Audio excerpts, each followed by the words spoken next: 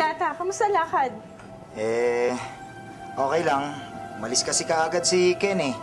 May lakad daw sila ni Lizzie. Ano ginagawa mo?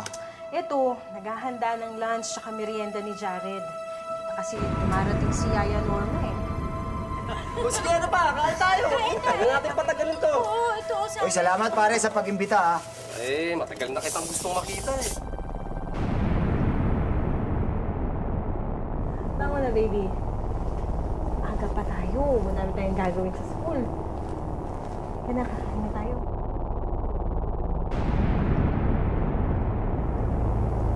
Tinitingin-tingin mo. Ha? The phone is ringing for God's sake. Answer the phone. Han, please. Nakita mo may ginagawa ako eh. Sagutin mo na. Huwag mong hawakan yan. Doon ka. Bakit? Wala. Nanaginip lang ako. Okay lang ako. Bakit mo gusto mo kagad magkaanak? Importante sa akin to. Bisa mo.